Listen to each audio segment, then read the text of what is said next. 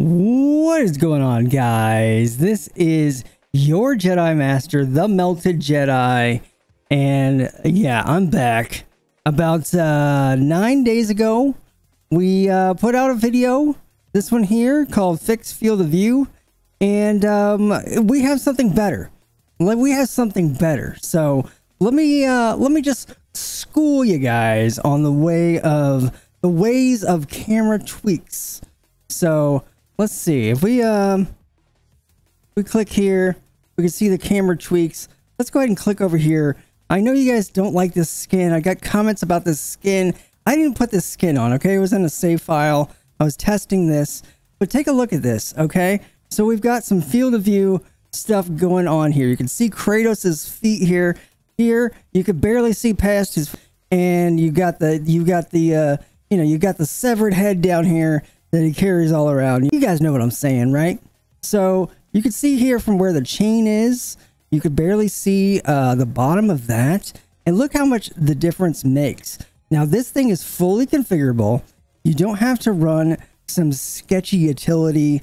You know what I'm saying? The last one would get eaten by Defender. It wasn't so good. It was a little bit garbage. It was a little bit poodoo. But guess what?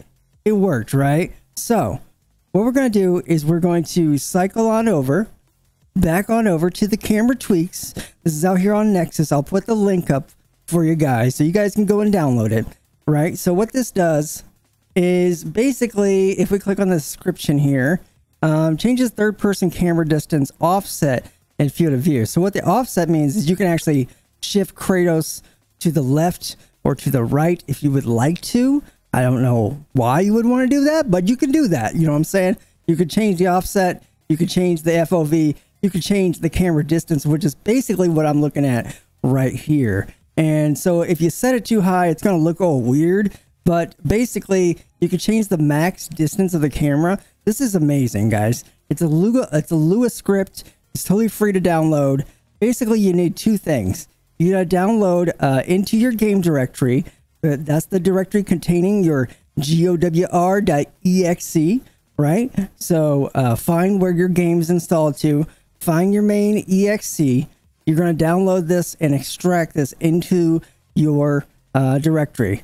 And you're probably not going to have a mod loader, so you're going to need a mod loader, right? So if you're on uh, if you're on Linux, you're going to want to make sure you take a look at this launch option right here and there is an INI file it's going to generate. Well, actually, it'll just be there, a config.ini, that you can actually tweak this, even when you're in the game. It's really, really cool. So check this out. You go over to the files, you download the Ragnarok camera tweaks. It's going to download like a little, uh, what is it, a uh, 7-zip file. When you download the 7-zip file, you're going to need something like WinRAR so uh, that's a free utility. You can go out and get WinRAR, W-I-N-R-A-R, and that will open it up and extract that folder for you. You're also going to need this mod loader right here, right? Mod loader. So you download that. It's also going to be another uh, 7-zip file, a 7Z file or whatever. You're going to need WinRAR to extract that too. So you basically put these files, mod loader INI, inversion DLL uh, down there in your files where the God of War is. So let's take a look here. I've downloaded these. Once you've got your uh, uh, WinRAR or there's you know there's there's different utilities for unpacking or unzipping, uh, lots of you know things like that. You know, um, but you need to be able to, to do it a 7Z file. So basically, you can right click, you can uh, open with WinRAR, extract. Ex I, this is what I like to do. Extract to mod loader. This basically just makes a folder, right? So you basically grab these couple of files, right? And this folder, you throw it in, bada boom, bada bang. And then um, you also do the mod loader, which is these two files right here. We make them look a little bigger. It's a version.dll and a mod loader.ini. It's very easy to install. So let's go ahead and jump in the game and I will take a look at how this looks by default. So I'm going to actually take that out of my game and then I will put back in the camera tweak so you can see exactly how this looks. And I'm going to give you my recommendation on the tweak, how you should set it up in the configuration file. So stick around. Also, uh, the link is down in the description. While you're down there, click the like button, right? If you absolutely hate it, you hate my guts, click the download, click the dislike button, right? Sure, whatever, whatever. I don't care, right? So uh, leave me a comment. Let me know what you're going to use for your FOV or your camera distance, whatever it is. And uh, we'll take a look at that here in just a second. All right. We are back and we're in the game now. This is pretty much your default FOV. I'm pretty sure I took out the DLL for the mod. So you can see we're kind of like right below Kratos' ass here. And it's no bueno, you know, it's, it's way too claustrophobic. I can't play it like this. Let's go ahead and reinstall the camera tweaks and I will show you exactly what that looks like. All right, guys, we are back. We can see Kratos' feet. Oh my gosh, it is a freaking miracle, right? Looks so good. Uh, you're also seeing some RTX uh, HDR stuff going on, so it's it's going to look even better uh, with that going on. That's that's what the newest NVIDIA driver. If you want to check that out, it has multi-monitor support now. Anyways, uh, we're going to pop over into our folder here. This is in the Ragnarok camera tweaks folder, which you uh, popped into your God of War Ragnarok folder. There is a config.ini that I'm going to pull down here. There we go. And let's see what we've got it set to. I think the actual default is something like 56 or something like that. Um, let's go ahead and save that. You can actually edit this while you're in the game, which is freaking amazing, right? So this is like basically what the default looks like. Um, I have set this line uh, down here. So basically, let's take a look at this uh, INI file, okay? And I'll talk about what I've set mine to. So you have an X, a Y, and a Z. And that's just kind of how things work in 3D space, if you know what that means. You also have an FOV. That works off of your 16.9, just a standard screen, so not a not a wide screen or ultra wide or anything like that.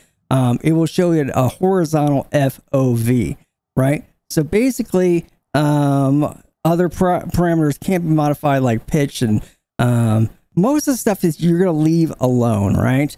Um, this one here, the original value, this is original value. Um, let's take a look here real quick. The original file.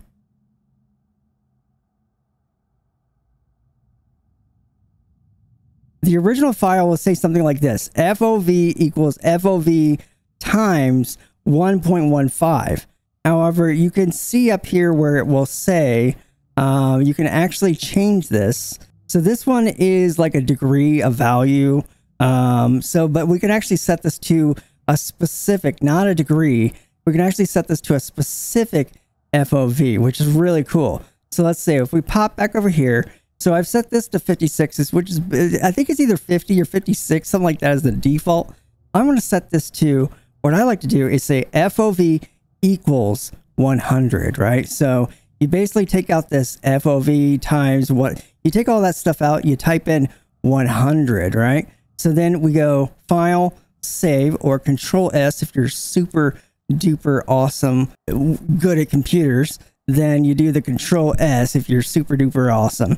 And then you go back into the game and bam, we are freaking rocking and rolling, right? if you're like, wait, uh, I don't even believe that this guy just freaking edited his F his camera distance inside of the game without even exiting it. You know what? I will prove it to you. We'll go ahead and go 200. It's gonna look like super crazy. You won't even believe what's happening. You're gonna, gonna blow your damn pants off. Is what's gonna happen. Look at this. Oh my goodness gracious. Let's get off of that. That looks absolutely freaking ridiculous, right? Let's go, uh, let's try 90.